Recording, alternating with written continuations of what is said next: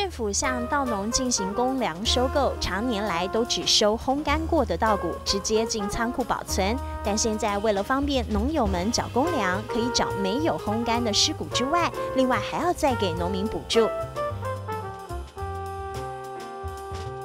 今年稻谷收成从一百零一年一起做起，农民除了可以自行或委托烘干后缴交公粮，也可以直接缴交没有烘干的尸骨。农民缴公粮时，会先进行地磅称重，接着由公粮业者上车对尸骨进行采样，透过仪器测定尸骨的湿度，再按照一定的比例换算成干骨，最后再依照干骨的重量来进行补助，每公斤补助两块钱，包括了缴交公粮的烘干、包装还有堆叠费用。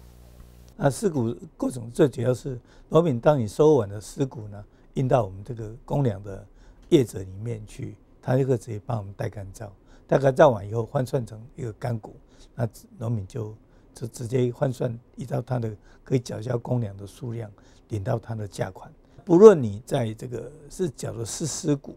或者是缴干股，那我们都以干股来算，每公斤补助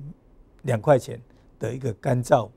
包装跟堆叠的费用。所以农民可以选择缴湿股，也可以选择缴干股，它的福利是一样的。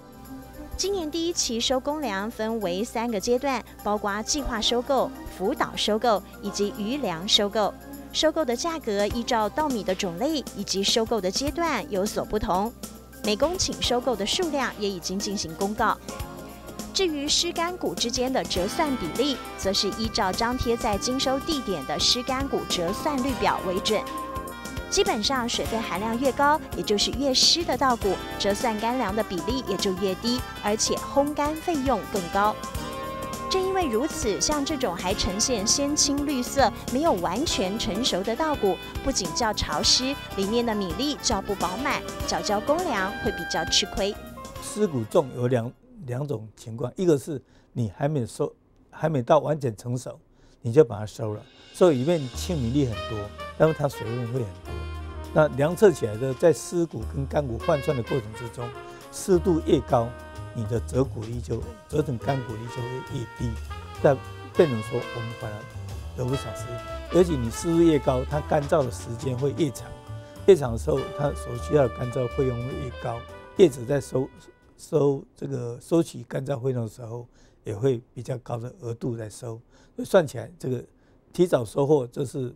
呃不理想的。而且我们这个未成熟的谷粒呢，经过干燥以后，它变成一个石米，它在整碾米过程之中会碎掉，所以它是一个不良米粒，所以对整个农民来讲，它也是一个吃亏；对业者来讲也是吃亏。所以说，我们还是鼓励农民呢，等稻谷成熟的时候，而且或者是下雨天，或者是有露水的时候，等雨水干了以后才采收。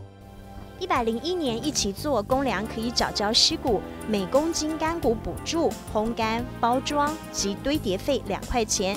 缴交湿干谷通通有补助，而补助款项会跟稻谷的价格一并汇入农友的账户。若有任何疑问，请洽询各地农会。